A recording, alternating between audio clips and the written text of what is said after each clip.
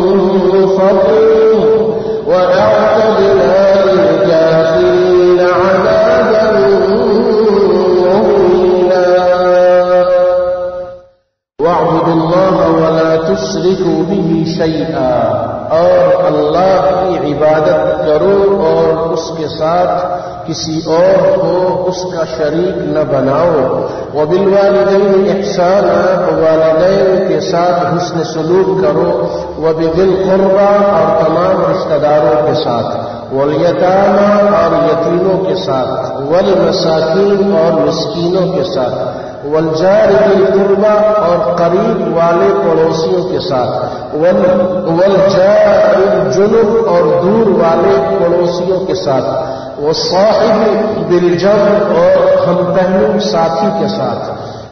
وابن السبیل اور مسافر کے ساتھ۔ وما ملکت ایمانکم اور اپنے ملازموں اور نوکروں کے ساتھ۔ ان اللہ لا يحب من كان مختالا فخورا۔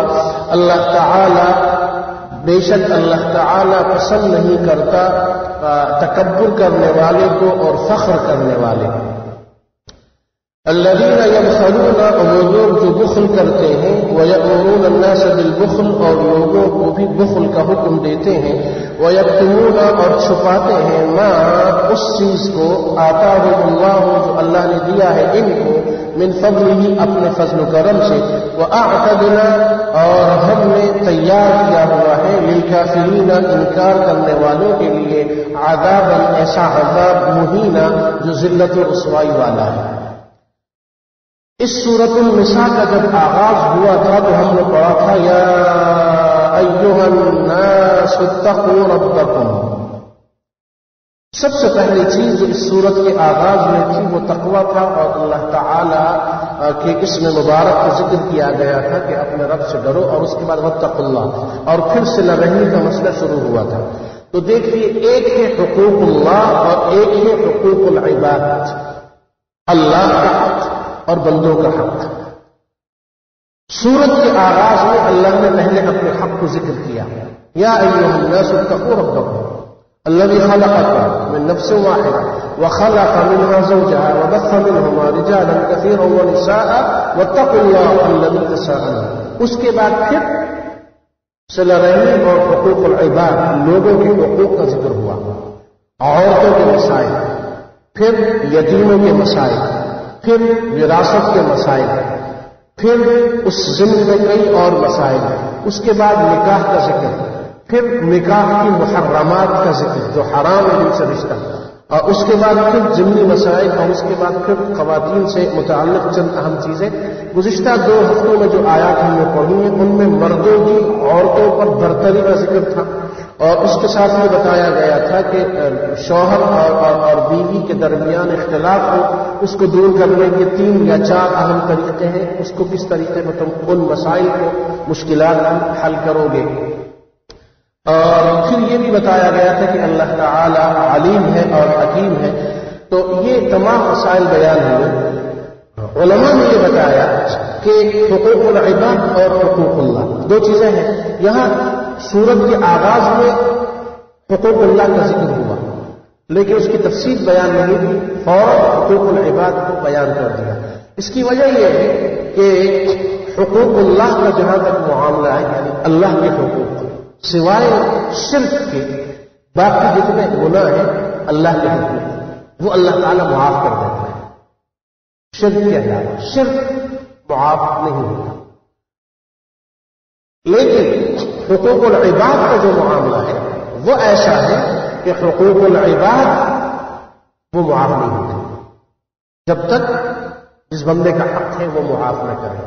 تو چونکہ حقوق العباد، حقوق اللہ کی نسبت زیادہ اہم ہے، اس لیے حقوق العباد کو پہلے بیان کیا اللہ نے اپنی مخلوق کو یہ بتایا کہ دیکھو، تم لوگوں کے ایک دوسرے پہ اتنے حقوق ہیں کہ ہم اپنے حق بعد میں بیان کرتے ہیں، پہلے تم لوگوں کے تم پر جو حقوق ہیں، ان کو ہم بیان کرتے ہیں۔ اس میں ایک تو انسان کی کرامت، عظمت، اس کے ساتھ یہ کہ اسے یہ احساس دلایا جا رہا ہے کہ اللہ کا جو معاملہ ہے، اس میں تو گنجائش ہے، لیکن بندوں کے معاملے میں گنجائش نہیں ہے۔ بندوں کے معاملے میں گنجائش نہیں ہے۔ اسی لیے فرمایا، وہ حدیث جو صحیح ابن حبان اور اس سے قبل ہم نے بارہ اپنے دروس میں بیان کی کہ کسی مسلمان کے بارے میں اس کی عزت و آبرو یا اس کی غیبت اور تہمت اور بہتان اس کے بارے میں غلط باتیں کرنا، اس کے بارے میں کہ ان ارب اور ریبا سود کے سود کے تہتر درجے ہیں۔ اس نئے صبروں بدعن و صبروں احادیث کے الفاظ مختلف ہیں، ستر سے زیادہ، بعض میں ہے اور بعض میں ہے بہتر، بعض میں ہے تہتر، بعض میں ہے ستر سے زیادہ۔ اور سب سے کم درجہ یہ ہے کہ انسان اپنی ماں کے ساتھ جنا کرے۔ سب سے کم درجہ۔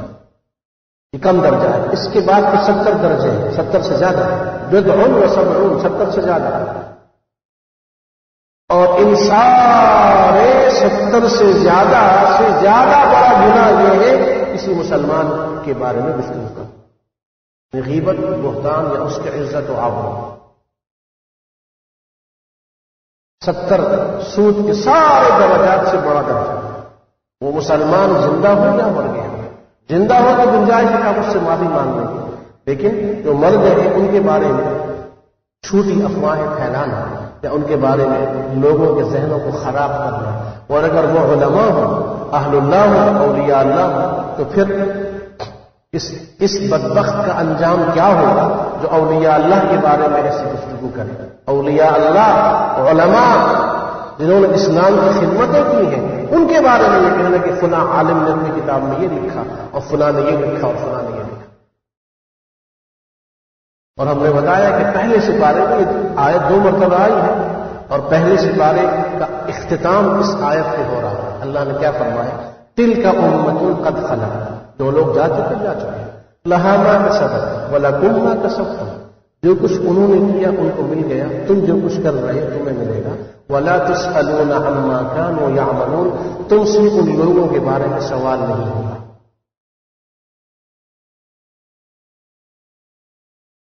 تو حقوق العباد معاف نہیں ہوتے۔ یہ کسی انسان کی بدبختی کی علامت ہے اور اس کے جہنم کا ایندھن بننے کی علامت ہے کہ وہ دوسروں کی غیبت کرتا پھر ستر، سود کے ستر درجے سے بڑا گنا کسی کی برائی کرنا لوگوں کو اس سے متنفر کرنا۔ اس لیے فرمایا کہ اللہ نے اپنے حقوق کو بعد میں بیان کیا، اجمالی طور پہ، اور پہلے حقوق العباد جیسا ہم نے بتایا، عورتوں کے مسائل، یتیموں کے مسائل، وراثت کے مسائل، نکاح کے مسائل، وہ چیز یہاں ہے۔ وہ عبود یہاں پر بھی وہی ہے۔ اب وہ سارے مسائل حقوق العباد بیان ہو گئے، اب پھر حقوق اللہ۔ وہی چیز جو سورت کی شروع میں تھی نا، یا الناس اتقوا ربکم۔ اب فرمایا وعبد اللہ۔ وعبد اللہ اللہ کی عبادت کرو ولا تشرکو بھی شیء شرک نہ کرو یہ حقوق اللہ بیان ہوئے اس کے بعد پھر حقوق العباد دوبارہ بیان شروع وہ بل والدین احسانہ وزل قربا ولیتامہ پھر حقوق العباد؟ اس سے ہم اندازہ لگا لیں کہ حقوق العباد کی کتنی اہمیت ہے تو فرمایا کہ وحمد اللہ ولا تشرکوا به شیئا اور یہاں پر اس چیز کو بھی بیان کیا کہ ایک حکمت تو یہ ہے کہ حقوق العباد اور حقوق اللہ کا معاملہ یہ ہے کہ حقوق العباد معاف نہیں ہوتے، حقوق اللہ اللہ تعالیٰ معاف کر دیتا ہے اس معاشرے دوسری حکمت علماء نے یہ بیان کی ہے، وہ یہ ہے کہ جو آدمی، جو مسلمان حقوق العباد کو حقوق اللہ پر اس لیے بھی مقدم کیا گیا۔ پہلی وجہ، اب یہ دوسری وجہ۔ دوسری وجہ یہ ہے، اس لیے بھی مقدم کیا گیا کہ جو انسان یا جو مسلمان بندوں کے حقوق ادا نہیں کرتا، وہ اللہ کے حقوق کیسے ادا کرے؟ گا اس لیے یہ تربیت کی جا رہی ہے کہ پہلے بندوں کے حقوق ادا کرو جب بندوں کے حقوق ادا کر سکو گے اور کرو گے اور کر دو گے، تو اللہ کے حقوق ادا کر تو جو بندوں کے حقوق ادا نہیں کرتا، وہ بندوں کے معبود کے حقوق کیسے ادا کرے گا؟ اسی لیے امام اطبی اور دوسرے محدثین نے اس حدیث کو نقل کیا کہ من لم یشکر الناس، لم یشکر اللہ۔ جو لوگوں کا شکر ادا نہ کرے، اللہ کا شکر کیسے ادا کرے؟ لوگوں کا شکر ادا کرنا آسان ہے۔ تو حقوق العباد جو ادا نہیں کرتا، اللہ حقوق کیسے ادا کرے؟ یہ دوسری وجہ۔ تیسری وجہ اور اہمیت اور حکمت علماء نے یہ بیان کی ہے۔ علماء نے فرمایا کہ یہاں تیسری چیز یہ معلوم ہو رہی ہے کہ جو مسلمان حقوق العباد ادا نہیں کرتا اللہ تعالیٰ کے حقوق ادا کرے تب بھی اللہ تعالیٰ اپنے حقوق کی ادائیگی اس کی طرف سے قبول نہیں کرتا۔ جو حقوق العباد ادا نہ کرے، حقوق اللہ اس سے قبول نہیں ہوتے۔ اور چوتھی بات علماء نے یہ بیان کی ہے کہ حقوق العباد اگر ادا نہ ہو حقوق العباد میں نقص اور کمزوری ہو، یہ لاکھ متقی بنتا پھرے اور یہ لاکھ مواحد بنتا پھرے اور یہ لاکھ عبادتیں اور یہ چیزیں کرتا پھرے، قیامت کے دن کیا ہوگا؟ جب یہ پہاڑوں کے برابر نیکیاں اور زکات اور صدقہ اور نماز اور تبلیغ اور دعوت اور تلاوت اور قرآن اور ذکر اور استغفار سب لے کے لے کے آئے گا۔ لیکن حقوق العباد میں جو گڑبڑ ہوگی، اس کی وجہ سے یعنی کسی کو مارا پوچھا ہوگا، کسی پہ الزام لگایا ہوگا، کسی کی غیبت کی ہوگی کسی پہ تہمت لگایا ہوگا وغیرہ جیسے ہم نے بتایا، تو جن جن لوگوں کے حقوق ہیں، اس کی ساری نیکیاں ان کو دے دی جائیں گی، پھر بھی حقوق باقی ہوں گے۔ تو کہا جائے گا کہ ان کے گناہ اس پہ لادے اور جہنم میں پھینک تو حقوق اللہ کا کیا فائدہ ہوا؟ جب آپ کے ذمہ حقوق العباد باقی ہیں۔ وعبد اللہ ولا تشرکو به شیئا اور حقوق اللہ میں جو چیز سب سے پہلے بیان ہوئی وہ اصل ہے، وہ ہے توحید خالص۔ ہر نبی نے آدم سے لے کے محمد تک صلی اللہ علیہ وسلم علیہ وسلم جمیعا ہر ایک نبی اور ہر ایک رسول کی دعوت یہی تھی کہ یا قوم اعبد اللہ اللہ ہی کی عبادت کرو۔ اس کی ذات میں، صفات میں حقوق میں کسی کو شریک نہ بناؤ، یہ اصل چیز ہے۔ دار و مدار پورے دین کا جو ہے وہ توحید پر ہے۔ وہ ابود اللہ ولا تشرکو به شیئا۔ معاذ بن جبل رضی اللہ عنہ سواری پہ بیٹھے ہوئے ہیں سرکار تو عالم صلی اللہ علیہ وسلم کے ساتھ۔ یا معاذ، اتدری؟ ما حق اللہ علی العباد؟ معاذ، تم جانتے ہو کہ اللہ کا بندوں پہ کیا حق ہے؟ اللہ و رسول اعلم، عرض کے کہ اللہ اس کے رسول بھی جانتے ہیں۔ فرمایا کہ حق الله على العباد أن يعبدوه ولا يشركوا ولا أن يعبدوه ولا يشركوا به شيئا. اللہ کا بندوں پہ حق یہ ہے کہ وہ عبادت کرے اللہ۔ اللہ کی عبادت کرے اور شرک نہ کرے۔ اور جب ایسا کریں تو حق العباد على الله حق العباد على الله إذا فعلوه إذا فعلوه أن يعذبهم اللہ کا حق تو یہ ہے بندوں پہ کہ وہ صرف اسی کی عبادت کرے، شرک نہ کرے۔ تو بندوں کا اللہ نے کیا حق؟ فرمایا، بندوں کا حق یہ بنتا ہے کہ جب اضافہ بندے جب یہ کام کرے کہ اللہ کی عبادت کرے، شرک نہ کرے، تو پھر بندوں کا اللہ پر حق بن جاتا ہے کہ اللہ ان بندوں کو عذاب نہ اسی لیے ترملی کی وہ حدیث جو حدیث قدسی ہے، اس میں اللہ نے ارشاد فرماتا ہے کہ ایک آدم، اگر تو زمین جتنی وسیع ہے، بے قرآن الارض خطایا، ثم لقیت لیلا سب کو بھی زمین کی وسعت کے برابر گناہ لے کے آئے، اس میں شرک نہ ہو تو لأتيتك بها مغفرة زمین کی وسعت کے برابر مغفرت لے کر میں کچھ سے ملوں گا۔ شرک نہ ہو۔ شرک نہ ہو۔ اللہ کے علاوہ دوسروں کو پکارنا، اللہ کے علاوہ دوسروں کو غریب نواز اور غوث اور دستگیر اور کارساز اور حاجت روا اور مشکل کشا اور حاضر ناظر اور عالم الغیر یہ سمجھنا کہ وہ ہماری پکاریں سنتے ہیں اور ہماری مشکلیں حل کرتے ہیں اور مدد کے لیے آتے ہیں اور ان کی قبروں پہ جانا اور قبروں پہ چڑھاوے چڑھانا اور غیر اللہ کے نام کی نظر و نیاز دینا اور غیر اللہ کے نام کی دہائیاں دینا اور غیر اللہ سے نفع نقصان کی امید رکھنا اور غیر اللہ کو حاضر ناظر سمجھنا، غیر اللہ کو غوث اور اعظم سمجھنا اور غیر اللہ کو کارساز، حاجت روا، دستگیر سمجھنا۔ یہ سارے کا سارا شرک ہے۔ انسان کی ساری یا تباہ و برباد کر اسی لیے فرمایا، من آتا وہ دخل النار۔ اس حال میں جو مر جائے کہ اللہ کے ساتھ کسی اور کو شریک بنا کے پکارتا تھا۔ من ماتا وہ یدعو من دون اللہ ندن اس حال میں اگر مر گیا، دخل النار، وہ جہنم میں جائے وَاعْبُدُ اللَّهَ ولا تشركوا به شيئا حقوق العباد بیان ہوئے، پھر حقوق العباد شروع ہو گئے. وبالوالدین احسانا، والدین کا ذکر اس لیے سب سے پہلے کیا کہ اللہ کے بعد انسان پر سب سے زیادہ حق جن کا ہے، وہ اس کے والدین ہیں۔ جیسے اللہ اپنی مخلوق کو پالتا ہے، اسی طرح والدین اپنے بچوں اور اولاد کو پالتے ہیں۔ تو اللہ نے اپنے حق کے ساتھ فوراً وبل والدین والدین کے ساتھ اس نے سلوک۔ اللہ تعالی کی توحید خالص۔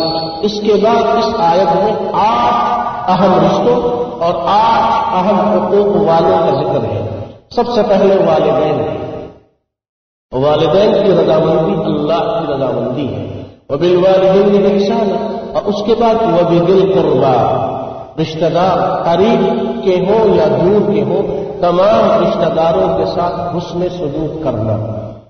ولیتام اور یتیموں کے ساتھ حسن سلوک کرنا۔ ولمساکین یا ول مسکین مسکین اور غریب اور فقیر اور نادار اور مفلس، اس کی مدد کرنا، اس کی خدمت کرنا۔ یہ بھی بڑی اور اہم نیکیوں میں سے ایک نیکی ہے۔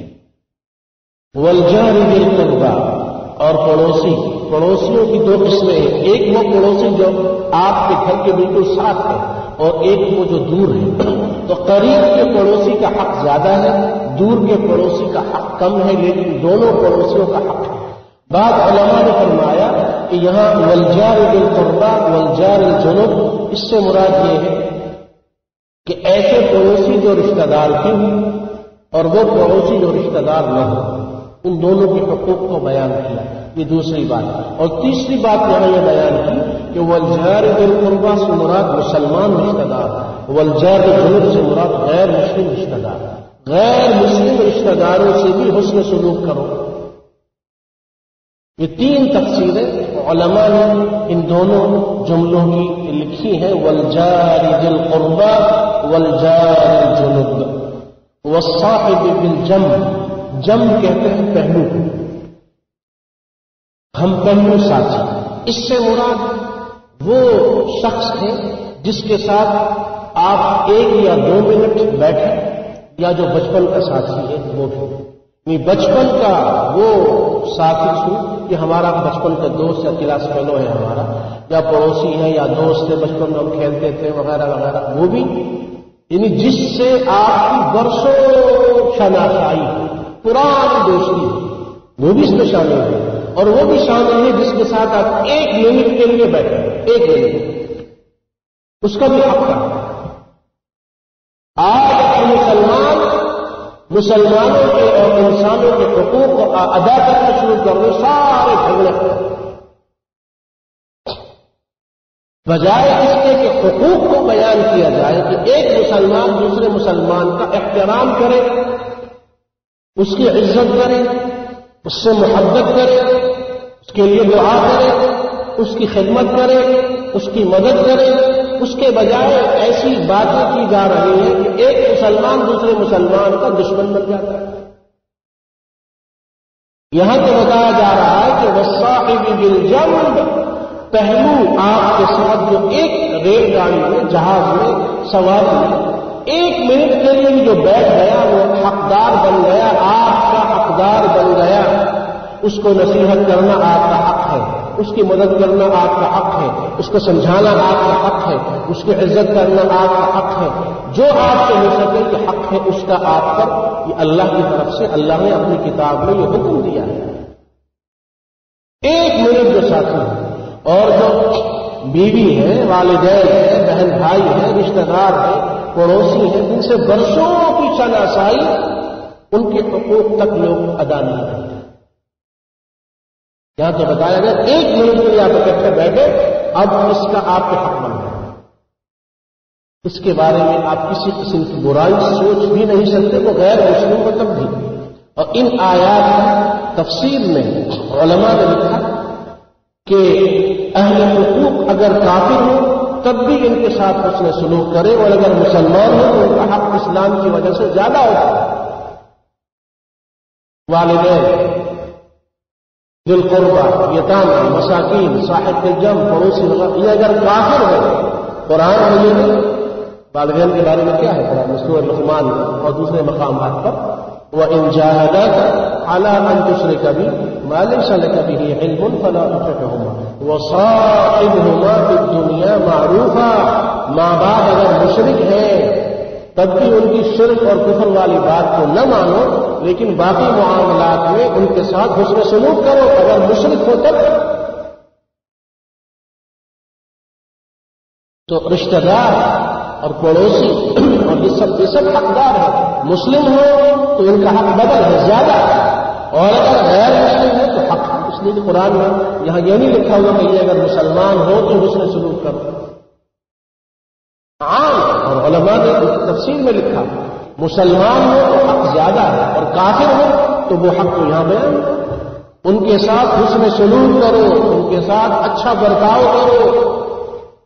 یہ قرآن کا حکم ہے۔ اور یہ قرآن اس چیز کو بیان کر رہا ہے وہ بل جم وہ اور جو مسافر ہے مسافر سے مراد وہ لوگ جو سفر میں ہوتے ہیں، مسافر ہیں۔ اور مسافر سے مراد وہ بھی ہے جیسا کہ ہم نے بتایا کہ سفر میں آپ کا ساتھ ہو گیا اب سفر میں آپ کی برابر والے سیٹ پہ وہ بیٹھے تو آپ ان سے دوستی کریں، تعلق پیدا کریں، سلام دعا کریں اور ان کو دعوت دیں۔ اچھی باتیں ان سے آپ کریں۔ تو اسی لیے ہم نے وہ بتایا تھا کہ مومن کی تعریف کیا ہے۔ المومن و یہ اللہ وہ یو اللہ آپ علیہ السلام نے فرمایا، مومن کون ہے؟ جو دوسروں سے گھل مل جائے اور دوسرے اس سے گھل مل جائے۔ اور انسان کو انسان کہتے ہی اس لیے ہے کہ انسان انس سے ہے۔ یہ جہاں بھی جاتا ہے، دوسرے جس سے انس کرتے ہیں، یہ اس دوسروں سے انس کرتا ہے۔ اور وہ انسان کی جو لڑتا ہے یا لڑاتا ہے، یا ایسی باتیں کرتا ہے جس سے آگ بھڑک اٹھتی ہے۔ مسلمانوں کے درمیان کتنا اور فساد پھیلاتا ہے، وہ مومن تو کیا، مسلم تو کیا، وہ تو انسان ہی نہیں ہے۔ وہ تو بدماش ہے، کوئی اور بلا ہے۔ انسان نہیں ہے۔ انسان کا مان اس کو محبت اور کافر سے جب آپ محبت کریں گے تو کافر اسلام کی طرف راغب ہوگا۔ اسی لیے علامہ اقبال نے کیا کہا کہ محبت فاتح عالم ہے۔ محبت فاتح عالم۔ محبت اگر کرو گے، ساری دنیا کو فتح کر سکتے ہیں۔ اور نفرت سختی کرو گے، تو اپنے گھر والے بھی تمہاری بات کر سکتے اس لیے آپ علیہ صلاحت السلام کی تعریف سورہ آل عمران نے کیا کی؟ فرمایا کہ اللہ کا آپ کے فضل و کرم ہوا کہ اللہ نے آپ کو ان لوگوں کو یہ نرم کر دیا۔ کبیما رحمت من اللہ لنتا لہو آپ کو نرم کر دیا۔ یہ ہے وہ سبھی وہ ماملکت ایمانکم اپنے ملازموں اور نوکروں کے ساتھ بھی حسن سلوک کرنا۔ یہ حسن سلوک دو اعتبار سے ہو دنیاوی اعتبار سے یہ ہو کہ جو خدمت اور مدد آپ کر سکتے ہیں کریں۔ اور دینی اعتبار سے یہ ہو کہ اگر یہ غیر مسلم ہے تو ان کو نرمی سے، حکمت سے، محبت سے اسلام کی دعوت دو۔